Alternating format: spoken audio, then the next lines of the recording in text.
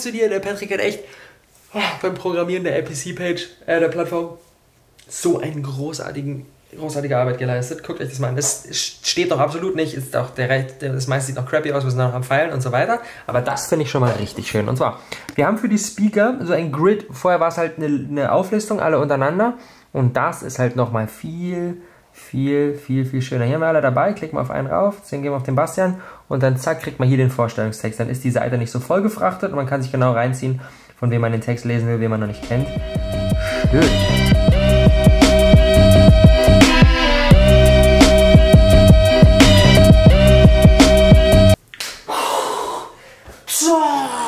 oh, ich werde immer besser in solchen Sales-Videos. Man, man, man, man, man. Das war richtig stark. Ich habe jetzt gerade im vierten Anlauf, hier drüben sind meine Notizen, im vierten Anlauf das Video für die Page der Awesome People Conference, die ich jetzt gerade baue und die bis heute Abend unbedingt fertig werden muss, habe ich jetzt komplett abgedreht. Ich glaube, es ist geil geworden, es ist richtig stark geworden.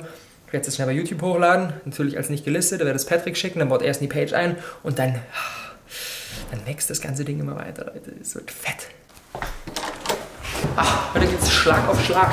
Jetzt gibt es ein Interview. Mensch, wir haben jetzt heute, heute und gestern Back-to-Back-Interviews. Sau, sau geil. Und zwar, jetzt kommt mein Kumpel Robert, kennt ihr wahrscheinlich von den bisherigen Tomatenshows, zusammen mit ähm, seinem Geschäftspartner Govinda. Und die beiden machen nämlich Lunch Vegas. Und was das eigentlich für ein cooles Startup ist, das werden sie uns hoffentlich gleich verraten.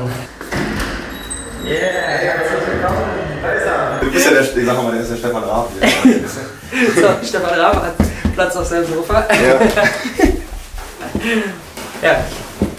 Herrlich. Liebe Freunde, wir haben heute zwei coole Gäste, Robert und Govinda von hier steht's, Lunch Vegas. Ähm, und wir haben uns für heute mal ein Thema rausgesucht, was bisher auf diesem Kanal noch nie ein einziges Mal präsent war, weil ich davon gar keine Ahnung habe und die beiden aber schon. Und deswegen finde ich sehr, sehr cool, dass ihr mitmacht.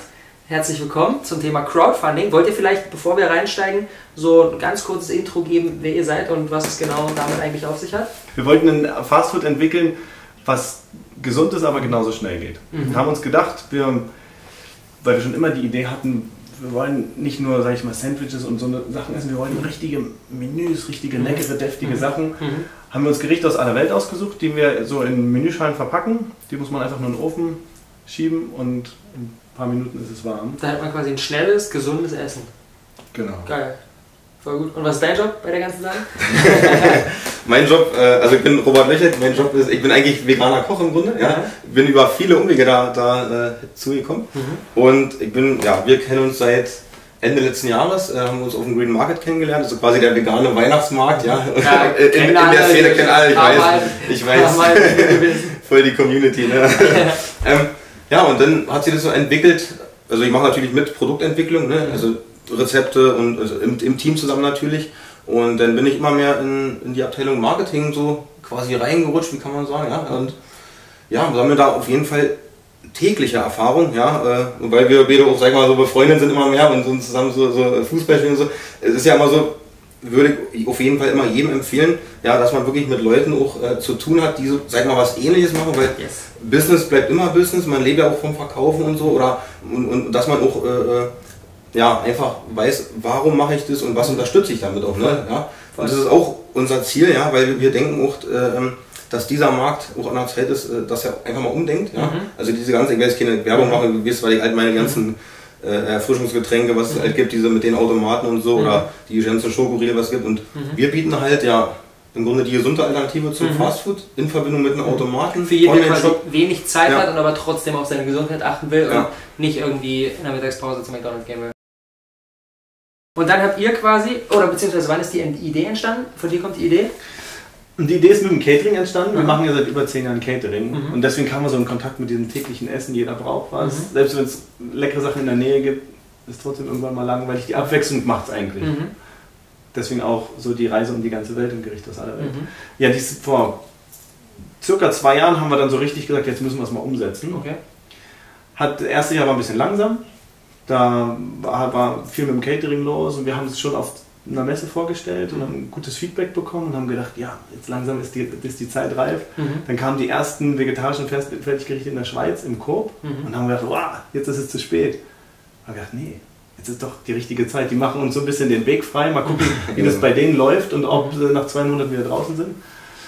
Naja, und nach, nach einem weiteren Jahr haben wir gesagt, also wenn nicht jetzt, dann nie. Mhm. Und dann kam eigentlich das zu dem Punkt, was du vorhin angesprochen hast mit dem Crowdfunding, weil das hat uns auch sehr viel, sag ich mal, Inspiration am Anfang gegeben, weil oft ist ja so, man, man steht da, man hat eine Idee. Mhm. Klar, selber ist man immer total überzeugt von der Idee. Mhm. Man weiß immer nie, was sagen die anderen denn wirklich darüber. Und dafür ist das Crowdfunding zum Beispiel auch super. Man kann rausfinden. Um ganz kurz reinzuspringen, magst du vielleicht für jeden, der jetzt zuguckt und sagt so, habe ich noch nie gehört, so ein ganz kurzes, was, was ist Crowdfunding und warum ist das Modell an sich generell einfach so interessant? Also, also Crowdfunding selber kann man viele Worte für verlieren. Mhm. Im Grunde ist es die Idee, dass man Geld sammelt mhm. durch die Crowd, durch andere Leute. Da gibt es verschiedene Modelle, gibt es das Crowdfunding, das Crowdlending, das Crowdinvesting. Hat, ja, kommt aufs Projekt drauf an. Aber wir sprechen jetzt mehr um das Crowdfunding. Mhm. Da gibt es dann ja auf Spendenbasis oder rewarded-based, sagt man im Englischen. Das heißt, dass man dafür was kriegt. Mhm. Das heißt, man, man sagt, hier ist mein Projekt, wer würde mir da helfen, mhm. das zu unterstützen? Das heißt, du hast quasi eine Idee und hast aber nicht die finanziellen Kapazitäten, es umzusetzen und dann sagst du, hey Leute, das und das, wenn ihr Bock habt, genau. unterstützt mich gerne, dann können wir das gemeinsam realisieren und ihr kriegt dann dafür, weiß ich nicht, wie bei euch jetzt, alle Leute, die es mit unterstützen, kriegen dann einen Gutschein für euren Shop, so, wenn der dann steht zum Beispiel.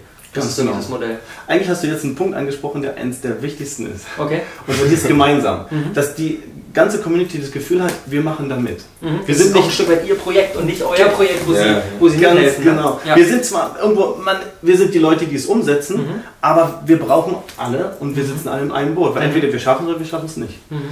Und denen das Gefühl zu geben, ist auch eine ganz spannende Sache. Mhm. Also immer updaten, immer irgendwie mit teilhaben lassen, was passiert. Nicht nur Danke und Tschüss. Oder wie auch immer. Hier gebt mal eure Kohle, danke und dann hauen wir ab damit so.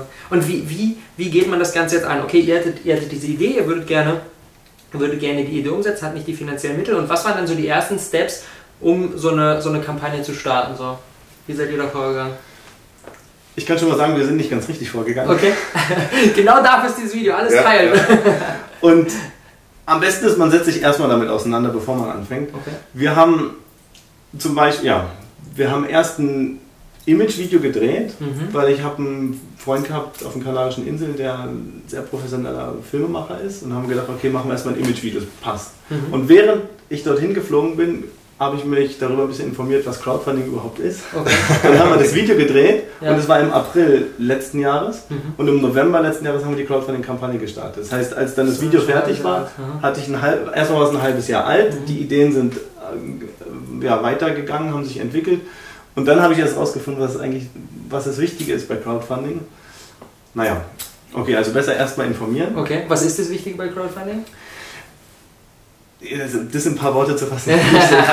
also auf jeden Fall kann man, kann man dazu sagen, was ganz wichtig ist, erstmal mit Leuten in Kontakt zu kommen. Dass mhm. man irgendwo mit Leuten über die Idee spricht und schon mal eine kleine Community aufbaut und guckt, mhm. wo ist denn eigentlich meine Community? Wer interessiert mhm. sich denn eigentlich dafür? Und das hat auch ganz viel damit zu tun, irgendwo die Idee, die ich habe, mal zu visualisieren. Nicht nur, ich habe eine Vision und oh, alle finden es bestimmt toll. Und jeden, den ich mhm. frage, wie findest du meine Idee? Oh, toll. Mhm. Ist klar, dass jeder so antwortet. Wenn sie mögen, klar. Wenn sie einen mögen und so. Ja. Aber irgendwo rauszufinden, wie es denn dann wirklich ist, mhm. ist schon mal eine Kunst. Und so mhm. baut man auch seine Community auf. Man findet, ja, man fragt die Leute, vielleicht fragt man sie indirekt mhm. und, und dann wird man sehen, wo, wo, wo sind die Leute, die sich wirklich dafür interessieren, was ich machen will. Und das heißt, der Schlüssel ist ein Stück weit nicht, und weil du vorhin gesagt hast, so, wir haben es eigentlich nicht so cool gemacht, der Schlüssel ist nicht, die Kampagne aufzusetzen und niemand kennt einen und dann zu gucken, so, okay, jetzt fandet mal so, sondern eigentlich im Vorfeld die Community zu haben, im mhm. Vorfeld schon Leute zu kennen, die Bock auf die ganze Geschichte hätten und dann damit rausgehen, weil man dann halt direkt irgendwie einen ganz anderen Start schafft, als wenn man vorher noch niemand kennt und man dann versucht, wirklich erstmal irgendwie Leute für sich zu gewinnen. Und das ist eigentlich die richtige Kampagne, könnte man nennen, ist diese Vorbereitung. Man macht die Crowdfunding-Kampagne, man nennt die auch, könnt ihr auch so nennen, mhm. aber das letztendliche Funding, die letztendliche, sag ich mal, das Geld einsammeln so zum mhm. Schluss, sind die letzten 40 Tage mhm. oder einen Monat, manche machen nur zwei Wochen. Mhm. Das geht dann ganz schnell. Mhm. Und vorher arbeitet man sich, spricht mit den Leuten und so weiter und dann geht es nur noch darum, okay, und jetzt ja. kommt die Runde sozusagen. Ja, das ist interessant. Und um, um sich jetzt vielleicht ein bisschen praktischer vorstellen zu können, so, was, wie geht man das Ganze an? Was gibt es da für Plattformen? Wie geht man da irgendwie von der, von der konkreten Umsetzung vor? Also Plattformen gibt es ganz viele. Mhm. Wir haben jetzt Startnext gewählt. Mhm da kann man sich auch so ein bisschen umgucken, was gibt es denn da eigentlich schon so? Weil es gibt Plattformen, die sind vielleicht ein bisschen mehr, wir haben jetzt klar mit Essen zu tun, da gibt es vielleicht sowieso die Rubrik Essen, da gibt es andere, die bieten irgendwas rund um Essen an. Mhm. Dann gibt es Plattformen, die sind zum Beispiel nur für Künstler, Musiker, mhm. Filmemacher oder so. Und da gehen dann auch die Leute hin, die vielleicht so, die sowas interessiert, die mhm. da vielleicht was unterstützen wollen. Und und und. Es gibt tausend. Dann sucht man sich die aus, die man, die man will und liest sich dann halt mal durch, wie soll man denn sein Projekt präsentieren? Weil die Projekt, Projektpräsentation ist eigentlich das, wo auch alles drauf Voll, niemand kennt euch, kommt auf die Seite und guckt sich das Video an und denkt sich so, langweilig, gehe ich wieder. Oder genau, cool, bleibe ich da. Genau, und das Video, wie du sagst, das Video muss kurz, mhm. präzise und vertrauenserweckend mhm. und überzeugend sein. Mhm. Dann gibt es auch jede Menge Text. Die sind die Fragen, also bei Start Next, die Fragen waren echt gut. Also mhm. wie die die aufgebaut haben, warum soll man euch unterstützen mhm. und so weiter, wer seid Ach, ihr? Fragen sind vorgegeben, ihr müsst darauf antworten sozusagen und dann kann derjenige, der auf die Seite kommt, das, das Ganze sich durchlesen. Genau, das heißt, das, das Video ist die Einleitung und mhm. wenn man dann überzeugt hat, dann fangen die an, sich das durchzulesen, wenn sie wollen. Vielleicht sagen sie auch, ah, gleich tolle Sache, mhm. unterstütze ich. Mhm. Aber dann kann man richtig durchlesen, weil irgendwo ist ja auch, klar, es gibt Leute, die sagen, oh, ich bin Albert und ich möchte gerne ein paar Schafe retten und ich brauche 100 Euro, weil ich möchte denen gerne was zu essen kaufen. Mhm. Ist eine leichte Sache, den muss keiner kennen, macht man so. Aber mhm. wenn man jetzt sagt, wie wir das gemacht haben, wir haben ein großes Projekt vor, wir wollen Fertiggerichte mhm. herstellen. Das ist ein mhm. Projekt, das braucht mehrere hunderttausend Euro. Mhm. Wir fragen jetzt für die ersten 10.000 Euro. Das war euer Ziel. Das war unser Ziel, weil wir wollten die Verpackungsmaschine schon mieten, mhm. damit wir schon mal die ersten Muster produzieren können, mhm. damit wir anfangen können, irgendwie uns zu bewegen, weil es halt doch ein ziemlich langer Rattenschwanz mhm. dran ist und überhaupt, oder eigentlich da vorne dran, bevor man überhaupt anfangen kann. Und das heißt, es funktioniert eigentlich so, dass äh, das Ziel sind 10.000 Euro, das sieht dann derjenige, der auf eure Seite kommt und denkt sich so, wow, okay, cool, das möchte ich unterstützen, gibt irgendwie 20 Euro in den Topf oder sowas und wenn letztendlich das Ziel nicht erreicht wird, dann hat derjenige kein Risiko, sondern dann bekommt er seine Kohle zurück, weil ja quasi euer Funding-Ziel nicht erreicht wurde, richtig? Ganz genau. Mhm. Und das ist eigentlich auch das Schöne, was, was ich auch gerne allen mitgeben möchte. Andersrum ist es ganz genauso. Man investiert zwar Energie, mhm. klar, man muss sich da anmelden und so weiter, man muss einen Film drehen, gut, mhm. vielleicht, wenn man da den nicht selber macht, aber den kann man auch selber mit der Handykamera machen. Je authentischer, je besser. Mhm. Je, wenn es zu professionell ist und zu, weiß ich nicht, mhm. dann vielleicht können die Leute auch gar nicht mhm. da einen Bezug aufnehmen. Und man hat selber nichts zu verlieren. Man kann einfach sagen, ich geh, mach, mal, mach mal eine Runde, wenn es geklappt hat, dann toll, wenn es nicht geklappt hat, dann halt nicht. Dann bereite ich mich nochmal vor und mache noch eine Runde. Und in dem Sinne ist es ja für beide Seiten eine ganz entspannte Sache. Mhm. Aber, oder nicht, aber dazu kommt, es gibt auch immer zwei Einstellmöglichkeiten. Es gibt das Funding-Ziel und eine Funding-Schwelle. Okay. Wo ich sage, mal angenommen, wir haben es auch so gemacht. Wir haben gesagt, wir würden natürlich gerne die Maschine kaufen, die würde aber 55.000 kosten. Mhm natürlich haben wir gehofft, wir können vielleicht so viel erreichen, aber es war jetzt eigentlich auch ein bisschen unrealistisch, weil auch zu, auf, zu dem Thema Food und auf der Plattform gab es ganz wenige mhm. Leute, die, die so viel Geld geben. Ist auch übrigens auch ein guter Tipp. Andere Crowdfunding mhm. kann man angucken, wie machen die die Videos, mhm. wie gefallen einem die Videos ja, und so weiter. Davon lernen voll. Und dann kann man sagen, das ist mein Ziel, aber wenn ich diese Schwelle erreiche, das waren bei uns 10.000, dann kann ich schon anfangen. Also entweder, okay. und gut erklären, entweder ich kann die Maschine kaufen oder ich kann sie mieten. In beiden Fällen kann ich anfangen, mhm. aber alles, was unter 10.000 ist, macht keinen Sinn, weil dann könnten wir sie nicht mieten. Also mhm. das muss, ja, müssen die Leute auch wissen, dass wenn ich was gebe und wenn es klappt, nicht, dass es dann doch noch zu wenig war und die können doch nicht anfangen. Genau, weil jeder will wissen, also natürlich, die Leute spenden da jetzt nicht irgendwie, keine Ahnung, zigtausend Euro oder sowas, aber auch selbst wenn man 10 Euro gibt, dann will man natürlich wissen, dass mit diesen 10 Euro hinterher was passiert und es nicht irgendwie einfach dann verbrennt und dann ist es weg so, dann, sondern die wollen halt genau wissen und da sind halt, glaube ich, dann diese, man hat die Möglichkeit, solche, solche, solche Geschenke einzustellen, dass jemand, der Summe X spendet, ähm, halt irgendwie was Konkretes dafür bekommt, dass er nicht nur eine coole Idee unterstützt, sondern direkt weiß, ah, okay, wenn das, wenn das Projekt dann funktioniert und wenn das umgesetzt wird, dann kriege ich später irgendwie was dafür. Genau, da gibt es unterschiedliche Möglichkeiten. Mhm. Manche Geschenke können direkt was mit dem Projekt zu tun. Irgendwie soll es schon einen Bezug zum Projekt dazu haben. was war es bei euch, um kurz einfach das konkret zu machen? Also wir hatten hauptsächlich Gutscheine, dass man sagen könnte, ich gebe, weiß ich nicht, 20 Euro und kann mir später im Wert von 20 Euro Essen kaufen. Mhm.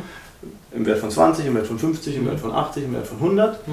Dann hatten wir so Kleinigkeiten wie bedruckte T-Shirts, bedruckte Schneidebretter und sowas auch von meiner Schwester bemalte Blätter. Mhm. Wir haben auch gesagt, sie macht mit im Projekt. Sie kann euer Porträt auf dem Blatt malen und so. Sind, hat jetzt nicht direkt was damit zu tun, aber es ist irgendwo ein schöner Artikel, wo man sagt, ist auch immer so eine Sache. Wir haben auch kurz vor Weihnachten gemacht. Mhm. Die Crowdfunding-Kampagne ist eh die Geschenkzeit. Und wenn man mhm. sagt, Ich habe noch irgendwas, was die Leute dann mhm. sagen, oh, das ist ein geiles Geschenk. Also auf dem, auf dem Baumblatt ein Porträt von, mhm. von, von mir oder von meiner Freundin oder von mhm. uns beiden. Das ist ja. eine geile Sache. Sowas. Mhm. Dann ja, dann man muss die Leute halt irgendwie begeistern, mhm. äh, ein bisschen Geld dazu lassen. Das heißt, das ist eigentlich eine, eine, sehr, sehr clevere Zeit, um so eine Kampagne zu machen, weil dann die Leute so ein Stück weit in dieser ich, ich unterstütze jetzt andere Menschen und ich mache da Geschenkestimmung sind. So haben wir uns das gedacht. Mhm. Und dann haben wir aber unsere Crowdfunding-Kampagne zu lange gemacht, okay. weil wir auch nicht, wir hatten, weil ich vorhin gesagt habe, wir haben zu früh angefangen, wir hatten nicht so viele Leute noch vorher, mhm. also haben wir gedacht, okay, wir machen lieber länger und können uns währenddessen auch noch ein bisschen Community aufbauen. Drei Monate lief es insgesamt? Drei Monate und dann waren wir natürlich schon nach Weihnachten. Mhm. Obwohl wir ein bisschen Werbung gemacht haben, ähm, ihr könnt es als Geschenke benutzen, haben die Leute dann gesehen, selbst wenn, also zu Weihnachten kommt es dann auch nicht mehr an. Mhm. Also haben wir so, sind wir da ein bisschen rausgerutscht. Aber es gab zwei immer noch gute Freunde, die ich doch da kennengelernt habe, mit denen ich auch mich ausgetauscht habe. Die haben es genau kurz vor Weihnachten Schluss gemacht mhm. und hatten halt richtig coole Geschenke. So. Das ist sehr, sehr smart. Also im Prinzip, um, um das Ganze nochmal auf den Punkt zu bringen, so im Prinzip macht es echt die Vorbereitung aus so. Also sich am Anfang einen konkreten Plan machen, was haben die Leute davon, wie kann ich vorher eine Community aufbauen, wie mache ich ein Video, was genau mein, mein, meine Message oder mein Ziel, mein mein Projekt irgendwie auf den Punkt bringt, in kurz, knackig. Ähm, und dann im Prinzip eigentlich hinten raus, und das ist halt interessant, ne?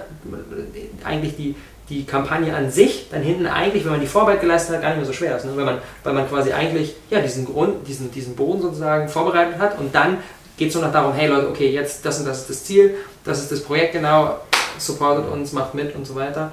Und voll cool. Und das ist auch nicht so, dass man sagt, ah, jetzt äh, habe ich eine große Facebook-Seite und jetzt kommen irgendwelche Leute. Mhm. Das ist auch was ganz Persönliches, wo man sagt, hey, ich mhm. habe Freunde, mhm. Hey, wir kennen uns doch schon so lange, ich habe eine Idee, willst du nicht was geben? Ja, Weil ja. die Sache ist auch, wenn ich nicht mal meine Familie, meine Freunde überzeugen kann, mir ein bisschen was zu Geil. geben, ich meine, wie, wie, soll man dann andere überzeugen? Ja. Und so mhm. fängt es dann auch an, wenn man sagt, okay, weiß ich, in einer Woche startet, bitte mhm. Mutti, Vati, Oma, Opa, könnt ihr auch was dazu geben, mhm. dann ist auch ein wichtiger Punkt. Weil dann geben die schon was und dann sehen andere, oh, da gibt ja schon jemand was. Ja. Ah, dann kann ich auch was geben. Und dann dieser, diesen Synergieeffekt ja. muss man haben. Die Menschen sind so. Und der Schneeball wird immer größer. ja, ja, ganz genau. Und es gibt, es gibt eine tolle Dynamik. Mhm. Wenn, und dann teilen die das natürlich mhm. auch und dann, ist, dann passiert schon fast mhm. von selbst. Also bei uns war es auch so. Die ersten zwei Wochen, klar, erst kam die Familie mhm. und dann kam immer Leute, ich habe jeden Tag geguckt, oh, schon wieder jemand, schon wieder jemand, schon wieder. Die, oh, den kenne ich nicht, den kenne ich nicht, den kenne ich nicht. Geil. Aber dann nach einer Weile, ich glaube, es waren ungefähr zwei Wochen, mhm hat so abgerissen. Mhm. Und dann war unsere Arbeiter, Arbeiter, Arbeiterphase wieder irgendwie ein bisschen mehr Leute ranzukriegen. Mhm. Und die letzten zwei Wochen. Mhm. Kurz vorm Schluss ist dann auch immer so ein bisschen diese, wenn es fast geschafft ist. Mhm. Wenn es nicht fast geschafft ist, wenn die Leute sehen, jetzt ist unrealistisch, es wird eh nichts mehr, ja. dann geben sie auch nichts. Das ist auch ja. ein Punkt. So, man muss in die Psychologie so ein bisschen reingehen. Voll, du musst eigentlich, genau, du musst eigentlich so kurz vor Ende, so noch so die paar letzten Meter, dann sind alle natürlich motiviert, scheren es nochmal, motivieren ihre Freunde und so. So interessant, sehr, sehr gut. Voll gut, danke schön für den kleinen Einblick auf jeden Fall schon mal so. Ich hoffe, vielleicht können wir, können wir in Zukunft nochmal so, so ein Teil 2 zum Thema Crowdfunding ja, drehen und dann noch ein bisschen mehr in die, in die, noch ein bisschen tiefer irgendwie einsteigen. Aber ich fand es heute schon mal sehr, sehr interessant und vielleicht noch so als Abschluss, wenn ihr jetzt sagt, so, uh, cooles Modell irgendwie, ich habe Bock, mich gesund zu ernähren und habe aber nicht so viel Zeit und sowas, es ist ein, ist ein interessantes Projekt, möchte ich gerne dranbleiben. So, wie kann man mehr von euch erfahren? Was sind so, so, so ganz kurz so die nächsten Steps von euch? Also wir sind, ähm, ja, jetzt kann ich mal was sagen. ich sitze so nach Mitte und da, aber, aber es war jetzt, hast du sehr gut gemacht, Männer.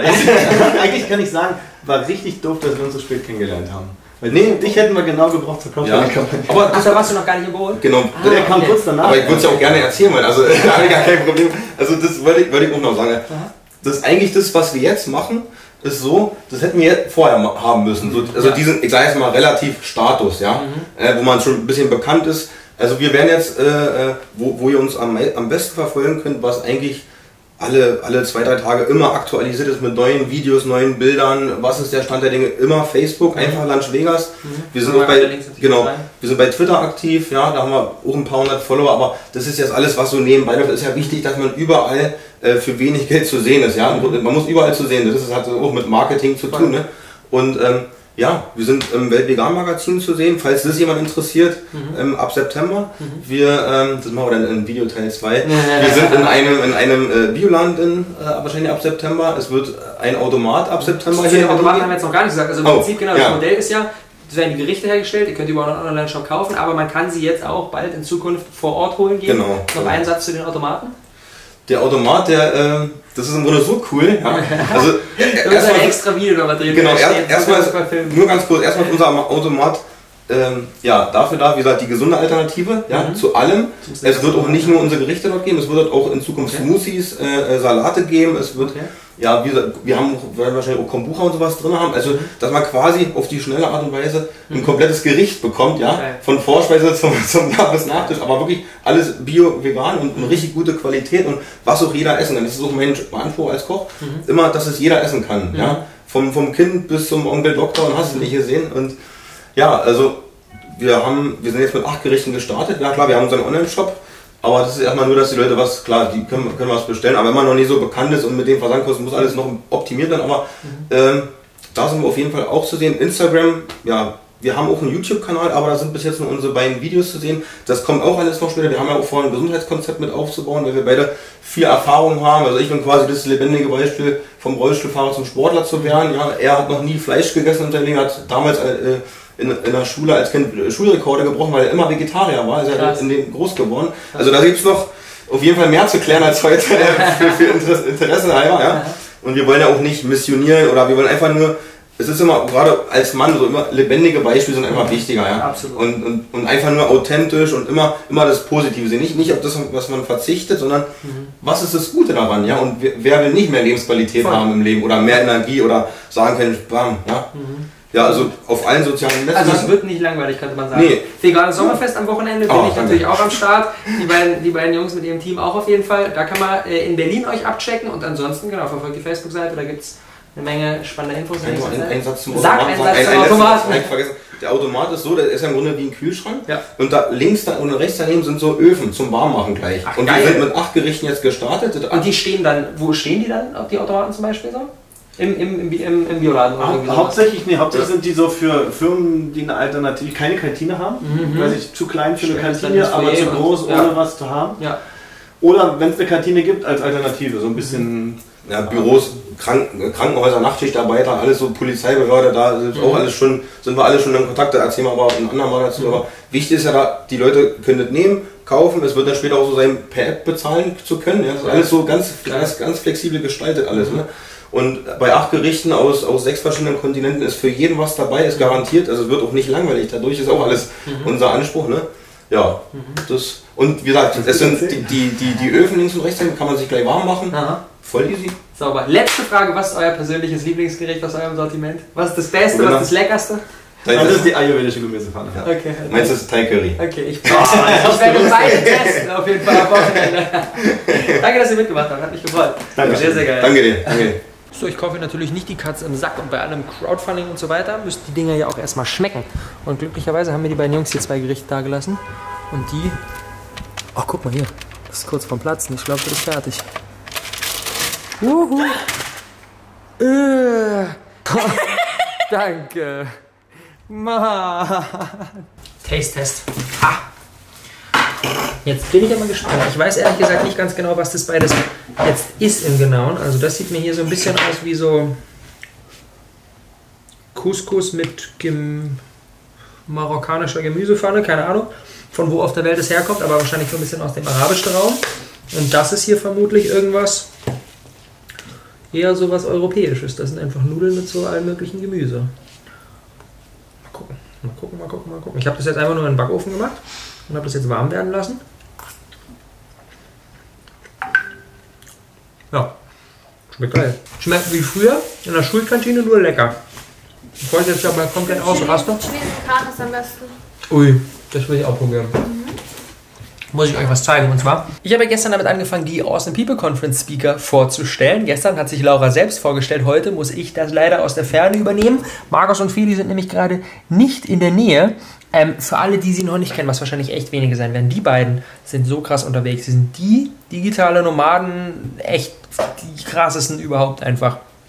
Was die unterwegs sind, was die trotzdem unterwegs für ein Pensum abreißen, mit der DNX, digitale Nomadenkonferenz, ja mittlerweile eine echte Hausnummer in dieser Szene. Und wisst ihr, was geil ist? Haha, wir scrollen hier mal ein Stückchen. Bam. Ich bin bei der nächsten Awesome People Conference als Speaker dabei. Ich freue mich riesig und worüber ich mich Worüber ich mich auch riesig freue, ist, dass Conny wieder dabei ist, dass Conny in Berlin sein wird. Und worüber ich mich auch riesig freue, ist, dass Benjamin Jaworski dabei sein wird von der letzten APC. Und worüber ich mich auch riesig freue, ist, dass Sascha Moderator ist.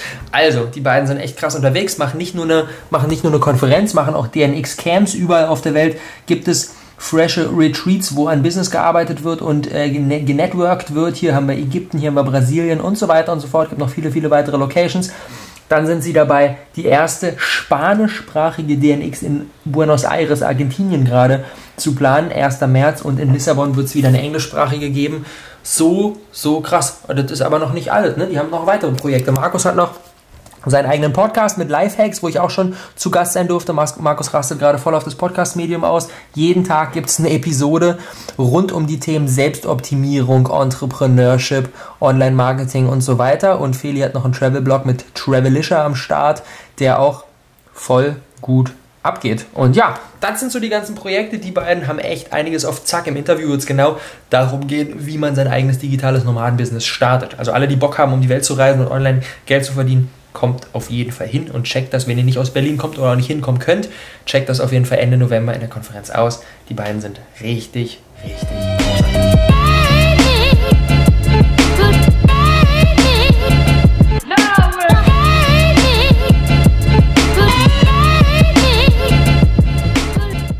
Liebe Freunde, wir sind jetzt kurz auf der D7X. Das Ding hier ähm, stand die ganze Zeit draußen auf dem Balkon und ist jetzt voll kalt und will gerade nicht so richtig filmen.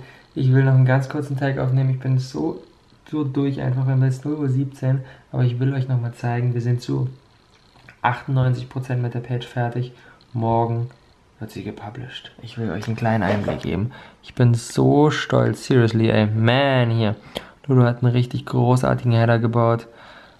Video ist am Start.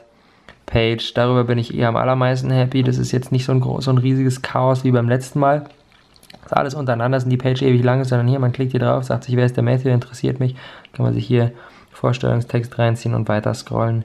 Einfach herrlich, einfach herrlich. Opt-in, hier, wie läuft die ganze Geschichte ab, kurze Vorstellung, für wen passt das, nochmal ein Opt-in, fertig. Simple, easy und so weiter. Das war's für heute.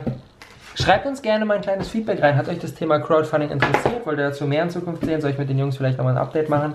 Oder sagt ihr so, ist eigentlich gar nicht so interessant. Ich fand es auf jeden Fall mega spannend, will das in Zukunft mal testen, haben danach noch ein bisschen gequatscht, einige Ideen und so weiter.